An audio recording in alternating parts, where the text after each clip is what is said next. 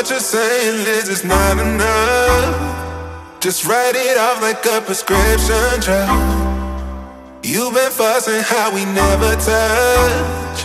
But who can bother with this kind of fussing?